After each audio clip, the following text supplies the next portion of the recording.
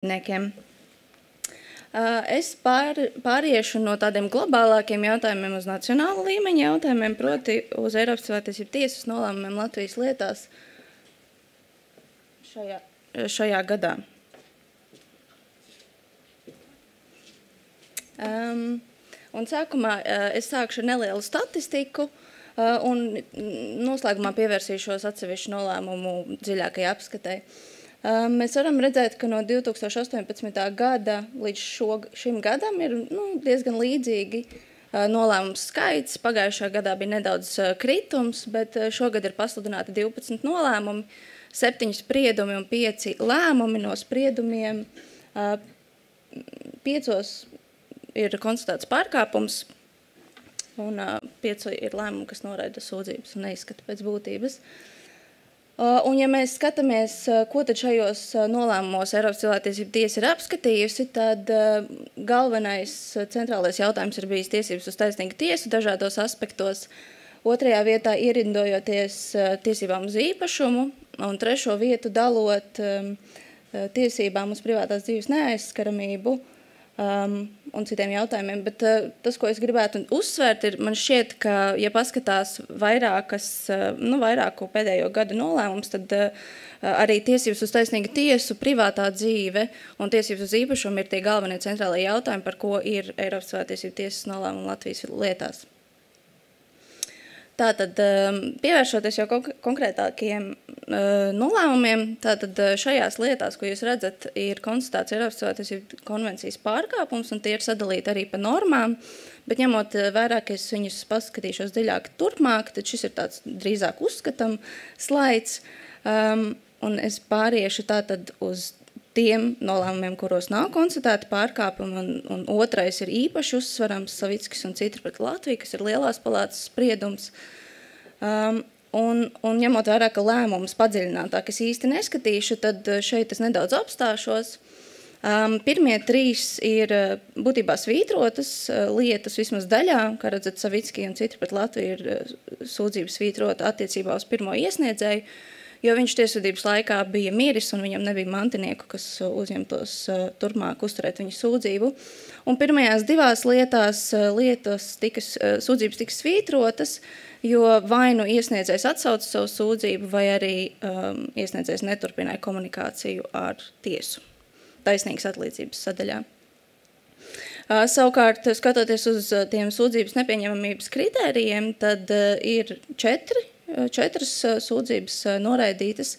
Um, lietās Liepiņš pret Latviju, Krasavickis un Kargins pret Latviju.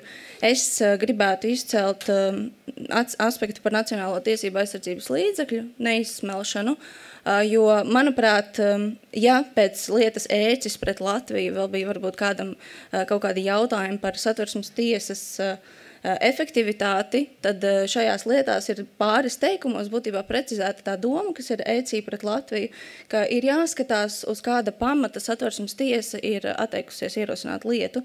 Eh, šajās lietās Liepiņš pret Latviju un Krasavickis un Kargins pret Latviju daļā um, satversmes tiesa atsaucās uz to, ka personas nebija sniegušas pietiekamu juridisko pamatojumu, Un, uh, tas ir skaidrs pamats, kādēļ, kādēļ noraid, uh, nepieņemt lietu izskatīšanai. Savukārt, lietā ēķis pret Latviju satversmes tiesa bija atsauksies uz tādu vairāk diskrecionāru pamatu.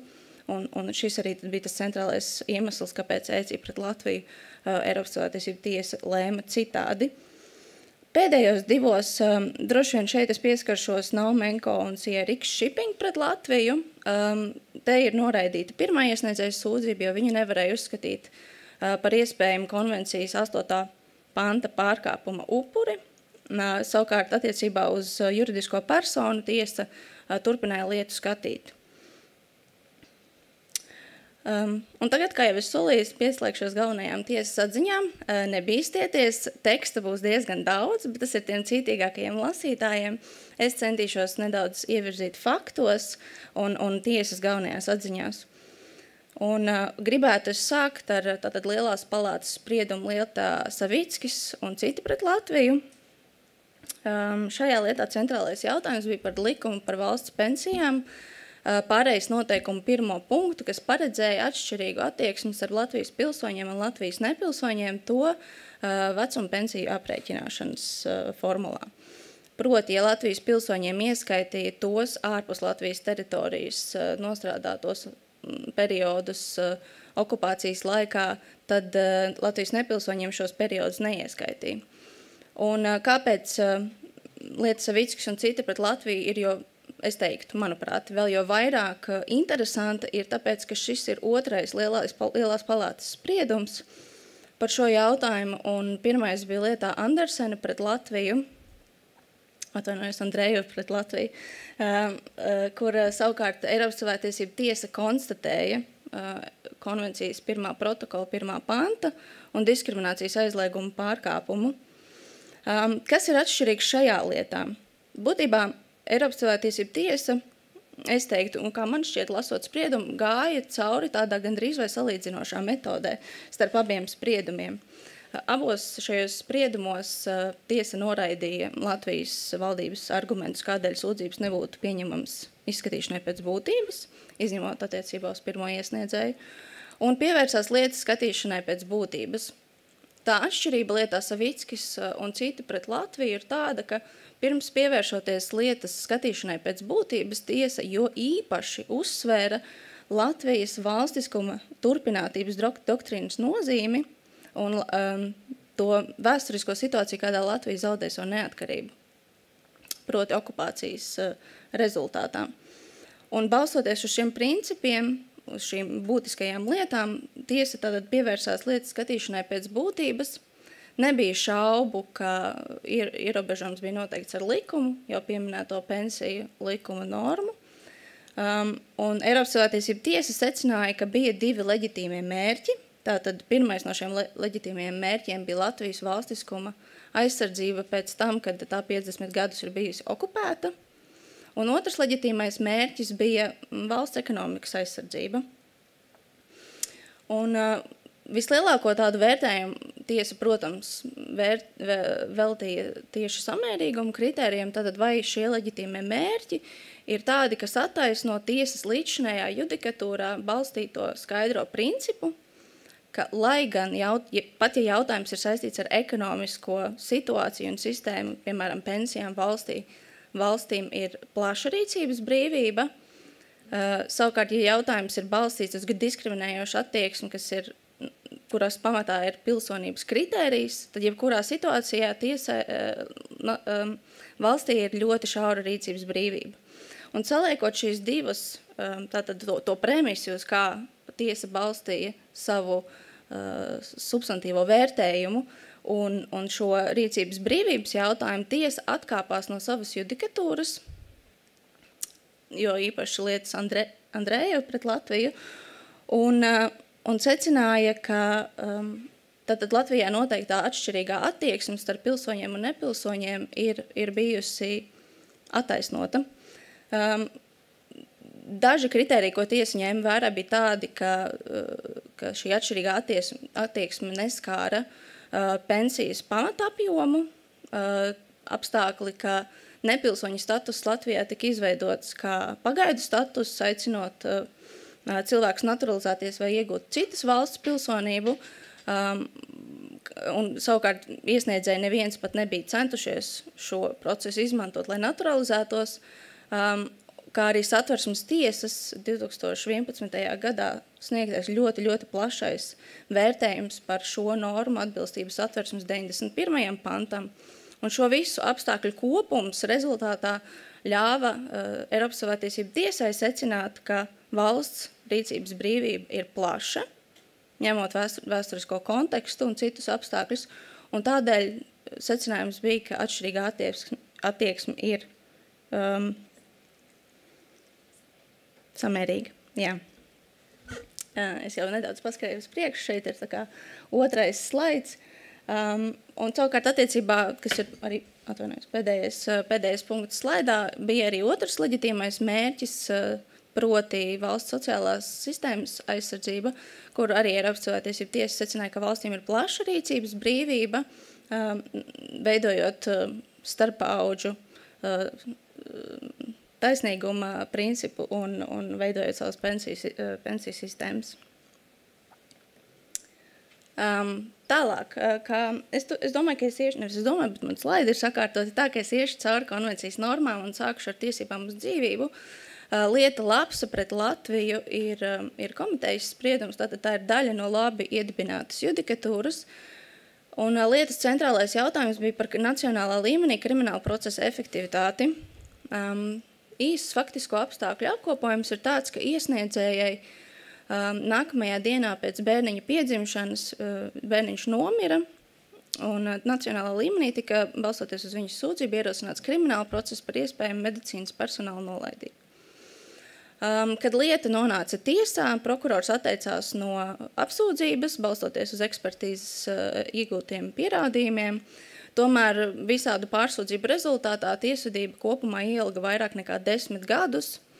Eh, ko Eiropas cilvēktiesība tiesa secināja kā nesamērīgu ilgumu un līdz ar to neefektīvu nāves apstākļu izmeklēšanu. Eh, kas ir interesanti, manuprāt, šajā spriedumā, vismaz man šķiet, ka tiesa pasvītroja, ka mm, procesa efektivitāti, uz, uz procesa efektivitāti, neefektivitāti norādīja tas, ka ņemot vērā, ka lietu izskatīja vairāk nekā desmit gadus, personai nebija eh, iespējas izmantot nacionālā līmenī pastāvošu efektīvu tiesību aizsardzības līdzekli, jeb prasību pret ārstniecības eh, personālu par iespējamu nolaidību un līdz ar to kaitējumu kompensāciju. Rezultātā tika konstatēts otrā panta pārkāpums. Mm, un tagad pievērsīsimies populārākajiem pantam, kas ir tiesības uz taisnīgu tiesu. Šeit būs uh, trīs lietas, un pirmā no tām ir tučs pret Latviju, arī komitejas uh, uh, spriedums, labi iedibinā, iedibināta judikatūra, uh, kuras pamatā bija darba tiesību strīds ar dažādiem uzņēmumu pārējais elementiem. Uh, proti iesniedzējs un viena viņa bijusī kolēģe tika atbrīvoti no uh, darba, pamatojoties uz to, ka uzņēmums ir likvidēts. Eh, tomēr Nacionālās tiesvedības ietvaros iesniedzējs un viņa kolēģi atsevišķos procesos apgalvoja, ka patiesībā darba devējs nav likvidēts, bet ir notikusi uzņēmuma pārēja. Un, um, Eiropas cilvēktiesība tiesa apskatīja visos trīs līmeņos izdarītos Nacionālo tiesu secinājumus paralēlos procesos. Un, ja pirmās divas instances faktiski nonāca pie identiskiem secinājumiem, balstoties uz praktiski identiskiem pierādījumiem, tad augstākās tiesas senāts iesniedzēja lietā noraidīja kasācijas sūdzību, bet viņa kolēģis lietā um, ap, apmierināja šo kasācijas sūdzību un atgriez lietu izskatīšanai apelācijas instances tiesā. Um, Eiropas cilvēktiesība tiesa konstatēja sastā panta pārkāpumu tādēļ, ka Nacionālās tiesas būtībā nebija veikušas pietiekami detalizētu un skaidru vērtējumu iesniedzēja izvirzītajiem argumentiem par uzņēmumu pārēju un par iespējamu diskrimināciju piedarības arotbiedrības dēļ. Um, lietā straumi pret Latviju, un pie šī sprieduma mēs vēl atgriezīsimies no pulcēšanās un biedrošanās brīvības skatu punkta. Um, bet šajā lietā konstatēja arī sastāv panta pārkāpumu tieši attiecībā uz um, lietas publiskas izskatīšanas principu jautājumā. Um, proti, um, lietā pamatstrīds bija par darba tiesībām, par iesniedzējas atbrīvošanu no darba tiesiskajām attiecībām. Um, faktiski balstoties uz, um, uz viņas kā arotbiedrības prezidentes um, iesnie, iesniegt un nosūtītu vēstuli par uh, problēmām darba apstākļos, uh, gaisa dispečeriem un, un, līdzīgiem jautājumiem. Un uh, nacionālā līmenī visās instancēs iesniedzēji un arī nevalstiskās organizācijas lūdza lietu izskatīt mutvārdu procesā. Savukārt atbildētājs, kas bija Latvijas gaisa satiksme, iebilda pret to, norādot, ka šeit ir skārti komerces noslēpuma, valsts noslēpuma jautājumi, kas ir saistīti tostarp arī ar valsts drošību.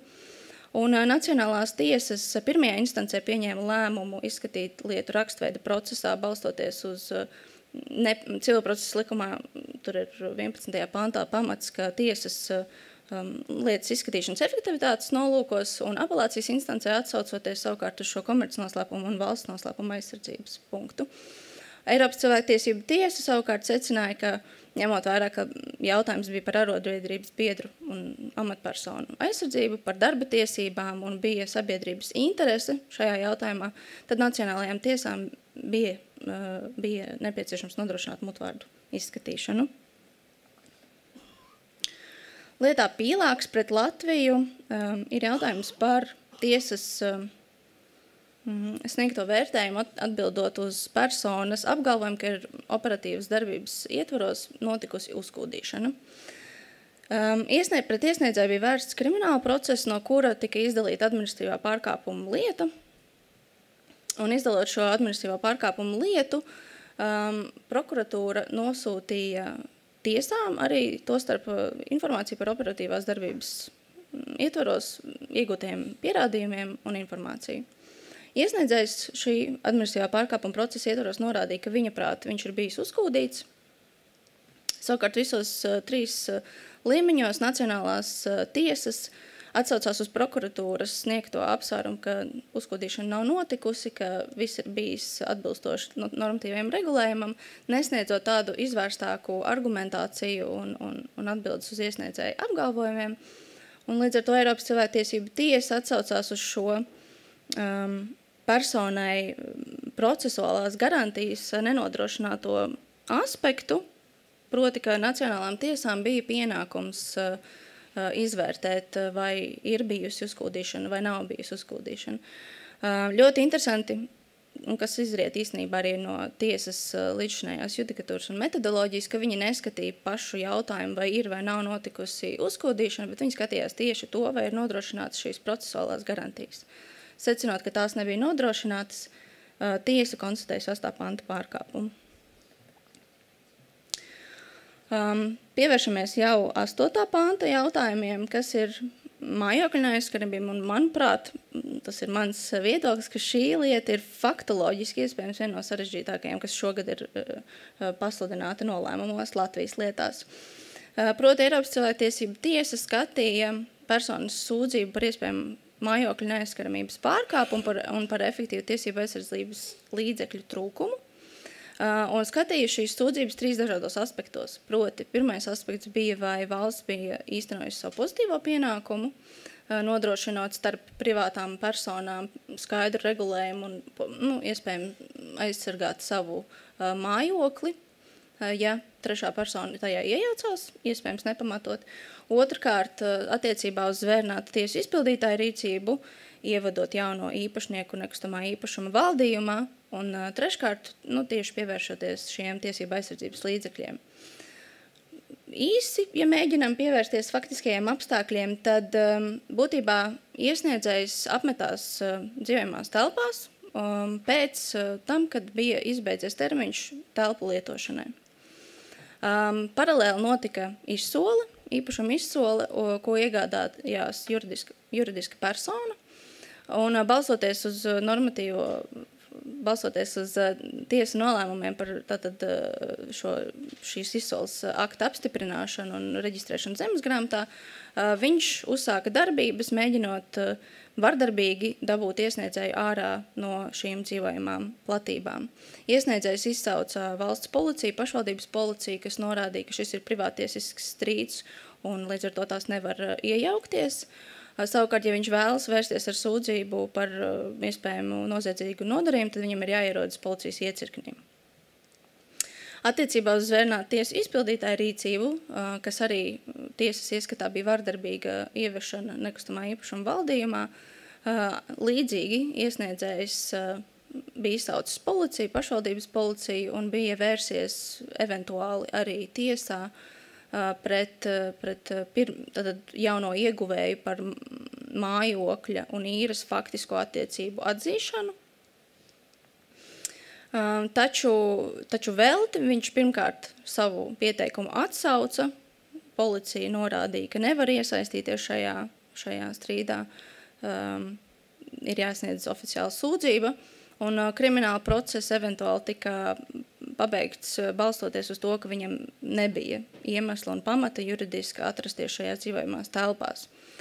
Ņemot vērā visu šos procesuālās darbības, kas tika veikts nacionālajā līmenī un to, ka um, tās izrādījās veltas un neefektīvas šajā konkrētajā situācijā, um, Eiropas cilvēktiesība tiesa secināja, ka valsts nav īstenojusi savu pozitīvo pienākumu nodrošinot skaidrs garantijas personām uz mājokļu neaizskaramību.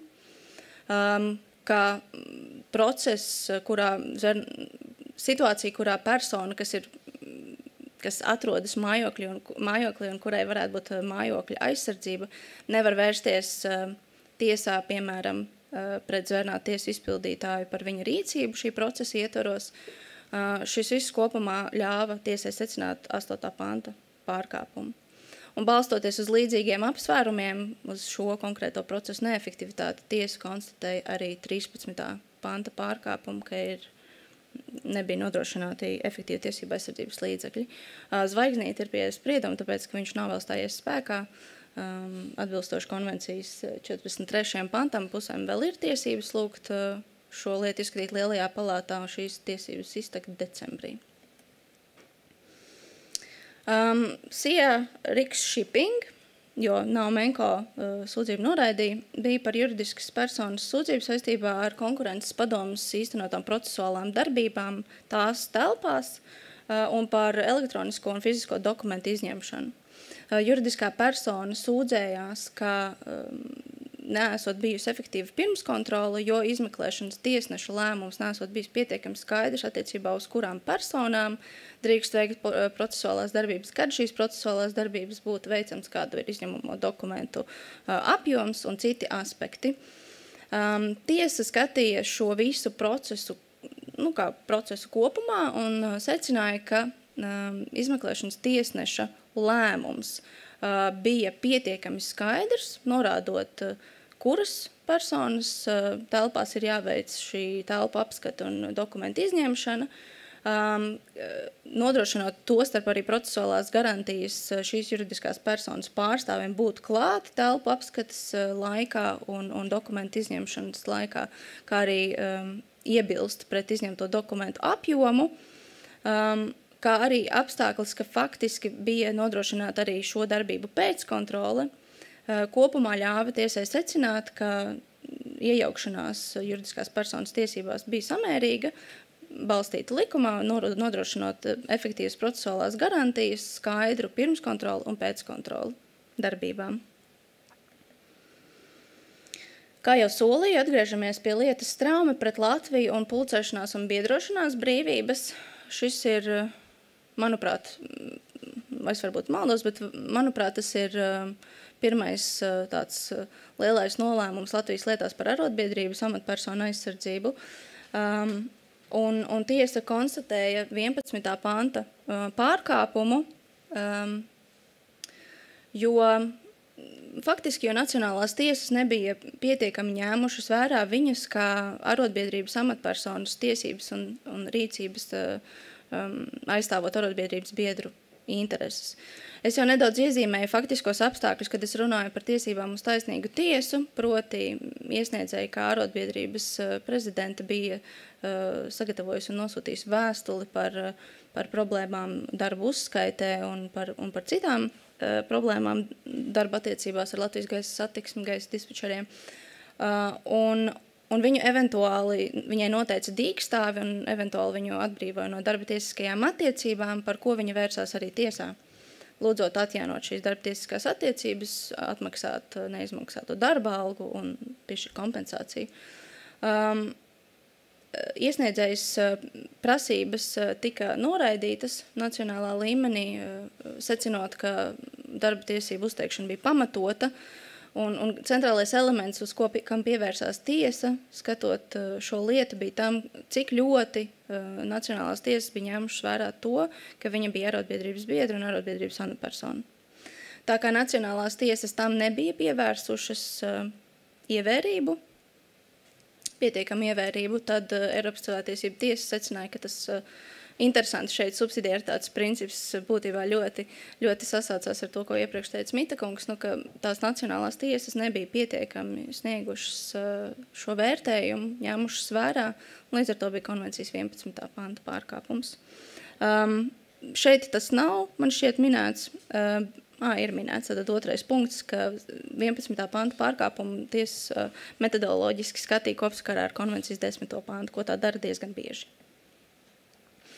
Un šis ir pēdējais, kam es pieķeros, un šis ir lēmums lietā MA un citi pret Latviju. Ļoti aktuāli jautājumi. Mm, sūdzības bija iesnieguši septiņi čečeni izcelsmes uh, individi, uh, kas mēģināja kas mēģināja šķērsot Latvijas-Baltkrievijas robežu.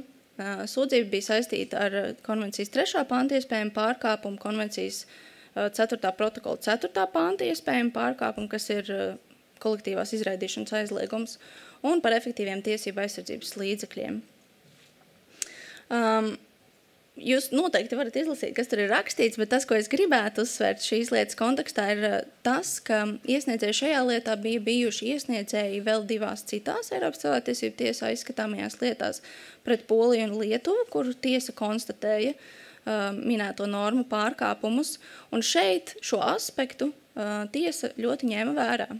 Proti, vērtējot uh, sūdzību par, uh, par trešo pantu, tiesa secināja, ka iesniedzējs zināja, kādi viņiem bija pierādījumi jāizsniedz. Uh, viņiem bija tieši tas pārstāvis, tieši tas pats pārstāvis, un, kuram vajadzēja zināt procesuālās prasības. Un ņemot vērā to, ka viņi nebija iesnieguši pietiekamus pierādījumus, tiesa konstatēja, ka viņu sūdzības ir noraidāmas, kā acīm redzam, nepamatotas. Savukārt, pievēršoties kolektīvās izraidīšanas aizlieguma jau, sūdzībai un efektīviem tiesību aizsardzības līdzekļiem, tiesa padziļināti vērtēja tātad iesniedzēja apgalvojums, ka viņi nebija pietiekami individualizēti, ka lēmumi par viņu izra, izraidīšanu nebija individuāli pamatoti un, un citus aspektus, bet balstoties uz faktiskajiem apstākļiem, un, un, un šeit es atsaukšos arī uz tiesas Uh, judikatūru tādā lietā kā NT un NT pret Spāniju, kurā bija uzsvērta personu pašu rīcības nozīmība, uh, skatot lietas par iespējamu kolektīvās izraidīšanas pārkāpumu. Um, un ņemot vērā to, ka iesniedzēji paši nebija snieguši pietiekams pierādījums, lai arī viņi nebija vardarbīgi mēģinājuši šķērsot robežu, viņiem nebija arī nepieciešamo dokumentu, uh, viņi tika no Latvijas amatpersonu puses skaidri identificēti pēc vecuma, uh, Uh, sadalīti grupās. Viņiem bija nodrošinātas gan intervijas, gan sarunas um, dažādā formātā, kas bija Krievu valodā, um, kā arī um, šo daļēji formālistisko, varbūt līdzīgo lēmumu par izraidīšanu pamatoja tas, ka viņiem nebija derīgas vīzas ieceļošanai Latvijā un līdz ar to Eiropas Savienībā. Un balstoties uz nacionālo tiesību normām, ņemot vērā, ka šīs personas faktiski bija vienādos apstākļos, arī šie diezgan līdzīgie lēmumi bija pamatoti. Rezultātā Eiropas cilvēktiesība tiesa noraidīja iesniedzēju sūdzības kā acīm redzami nepamatotas. Paldies par uzmanību, un ja jums būs kādi vēl jautājumi, tad es pēc tam varēšu atbildēt.